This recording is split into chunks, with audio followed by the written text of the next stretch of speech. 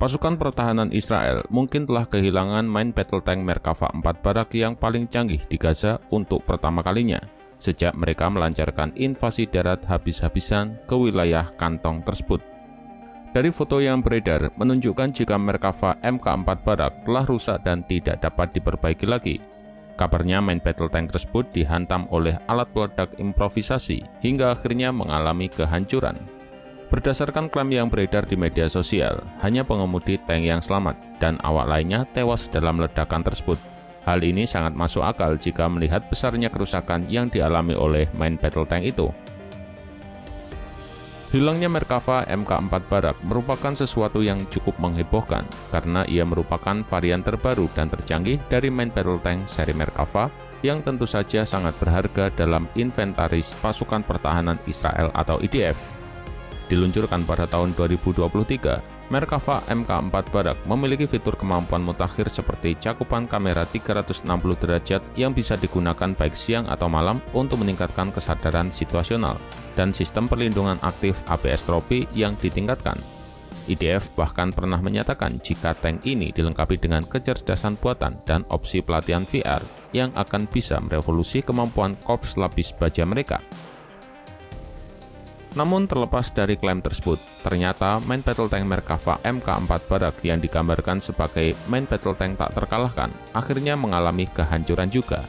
Selain itu, kehancuran tersebut juga membuktikan jika tropi armor protection system yang canggih dan satu-satunya yang telah terbukti dalam pertempuran belum tentu menjadi obat mujarab bagi main battle tank ini dalam pertempuran nyata.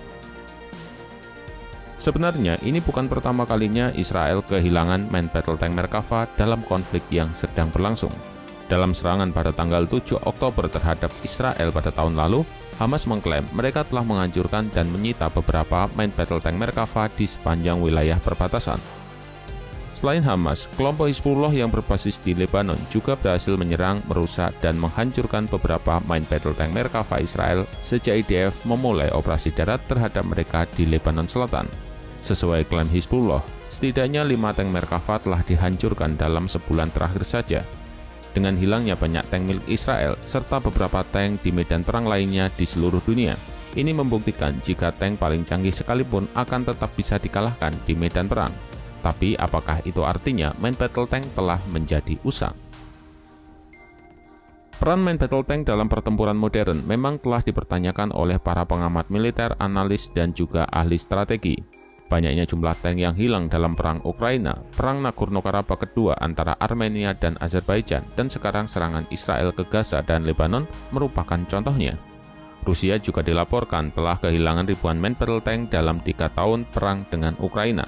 Menurut perkiraan, Rusia telah menderita kerugian hingga ribuan tank, sementara kerugian yang dialami Ukraina juga sama buruknya. Menariknya, main battle tank yang mengalami kehancuran di medan perang Ukraina adalah main battle tank kelas Wahid misalnya T-90M Rusia, Leopard 2 Jerman, serta M1 Abram Amerika.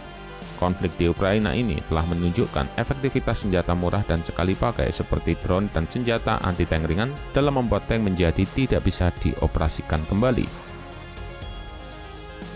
Menurut para ahli, tank sangat rentan di area yang lapis bajanya paling tipis, seperti di area antara lambung dan turret, blok mesin belakang, dan bagian atas. Jadi, untuk menutup kelemahan tersebut, pengguna telah melengkapi tank mereka dengan pelindung tambahan. Konsepnya adalah membuat serangan akan tumpul dan terlempar keluar jalur ketika mengenai pelindung pertama, sehingga mengurangi efektivitasnya ketika mencapai lapisan utama tank. Untuk memerangi ancaman drone, beberapa pengguna kini memasang sangkar pelindung, seperti yang banyak dilihat pada main battle tank yang digunakan oleh Rusia. Seorang pensiunan veteran Rusia, Viktor Murakoski, percaya jika operasi tempur berintensitas tinggi antara negara-negara yang secara teknologi sebanding tidak dapat dibayangkan tanpa penggunaan tank dalam skala besar, mengingat daya tembak, mobilitas, kemampuan bertahan hidup, daya tahan, dan efektivitas biaya tank tersebut. Dari uraian itu, jelas jika main battle tank terus memainkan peran penting dalam pertempuran. Menganggapnya sebagai sesuatu yang ketinggalan zaman dalam konflik-konflik masa kini adalah tindakan yang terlalu dini.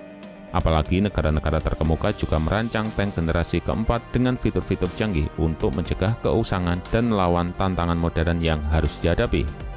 Namun harus diketahui jika Merkava MK4 Barak Israel juga dilengkapi dengan lapis baja dan turret yang baik, sehingga seharusnya ia mampu memberikan pertahanan yang lebih besar kepada awaknya terhadap serangan pesawat tak berawak. Tapi naasnya ia harus lumpuh karena serangan dari alat peledak improvisasi.